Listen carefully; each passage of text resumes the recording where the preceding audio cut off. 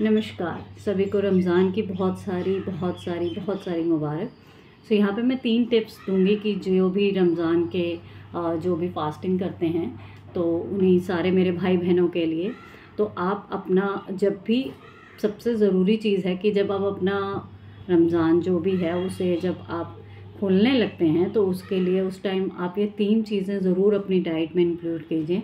क्योंकि आपने सारा दिन से कुछ खाया पिया नहीं होता तो आप सबसे पहले तो नींबू पानी अपनी डाइट में ऐड कीजिए वो आपको हेल्प करेगा। एंड सेकंड थिंग कि आप आ, आ, जो डेट्स होते हैं जो खजूर होते हैं वो एक ज़रूर कंज्यूम कीजिए। और उसके बाद आप टेन मतलब टेन टू मिनट का आप थोड़ा सा गैप दीजिए। रेस्ट दीजिए, ये चीज़ें जब आपके अंदर चली जाएँगी। बिकॉज़ पूरे दिन से आपकी मशीनरी जो है वो बंद है।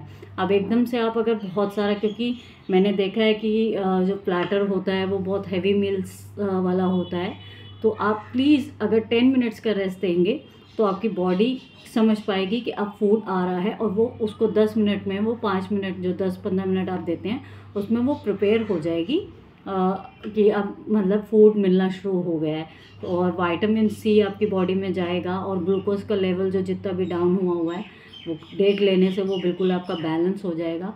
और उसके बाद आप 10 से 15 मिनट बाद जब मील डालेंगे तो वो आपको बहुत ज़्यादा बेनिफिशियल होगा। जैसे कि आप अल्लाह ताला की पूरा दिन उसमें रहे हैं तो अगर आप ये शाम को अपने साथ एक, ये भी एक अच्छा टिप्स आप फॉलो करते हैं तो आपका कंप्लीट बहुत अच्छा रमज़ान जाएगा हेल्थ वाइज भी और आपके जो रिचुअल है उसके वाइज भी।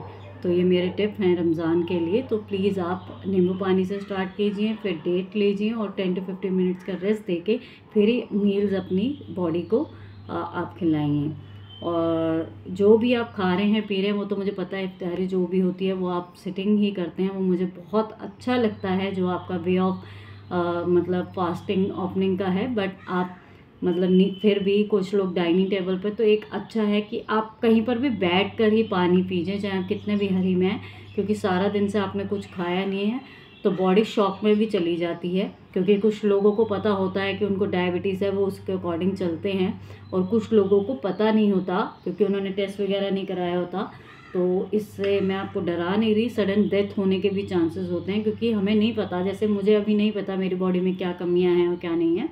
तो प्लीज़ आप जो भी खाइए, पिए सिप सिप करके लीजिए बाइट कर करके लीजिए और आराम से बैठ के पेशेंसली खाइए। तो आपका जो इलेक्ट्रोलाइट बैलेंस है, जो भी, वो एकदम से शूटअप नहीं होगा, जो आपका ग्लूकोज वगैरह है। तो प्लीज़ आप आराम से प्रॉपर बैठिए और रिलैक्सिंग माइंड से आप सिप सिप करके ही अपने जो भी आपका आ, आप ले रहे हैं। वैसे तो मैंने आपको नींबू पानी बताया ही है और डेट है वो बैठ के आप आराम से खाइए। तो इससे भी आपको फ़ायदा होगा। खड़े होके आप एकदम से फटाफट फटाफट खाएँगे तो एकदम से शूटअप हो सकती है आपकी शुगर लेवल्स और जो भी है बॉडी में। इलेक्ट्रोलाइट्स इम्बैलेंस जो पूरा दिन ना लेने से हुआ होता है तो वो होगा।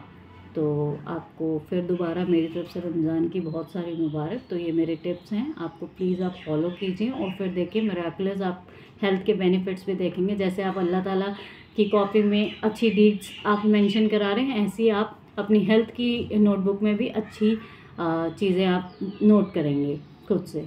तो बहुत बहुत मुबारक फिर से मेरी तरफ़ से। सो मिलेंगे अब अपनी नेक्स्ट वीडियो में न्यूट्रीफिटर्स की तरफ़ से। Bye bye take care